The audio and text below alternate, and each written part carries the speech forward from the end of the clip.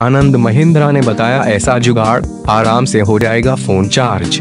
महिंद्रा समूह के अध्यक्ष और प्रबंध निदेशक आनंद महिंद्रा सोशल मीडिया पर हमेशा सुर्खियों में बने रहते हैं। उनकी ट्वीट हमेशा समाज को एक सीख देती है।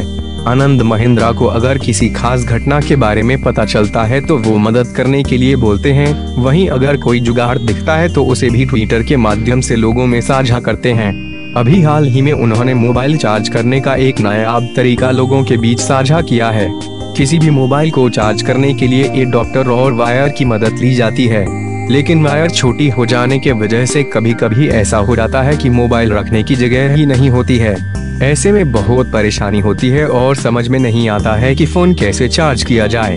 अब कील ठोक कर फटा तो लगा नहीं सकते। लेकिन महिंद्रा समूह के प्रमुख आनंद महिंद्रा ने एक ऐसा जुगाड़ साझा किया है जो मोबाइल चार्ज करने वाले शख्स को जन्म दे सकता है।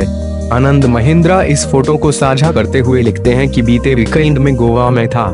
मैंने वहाँ ऐसा ट्राई किया और काम बन गया। जबकि यह फ़ोटो किसी ने व्हाट्सएप वंडर बॉक्स पर पोस्ट की थी, मेरा सेल फ़ोन कभी इतना कंफर्टेबल नहीं लगा।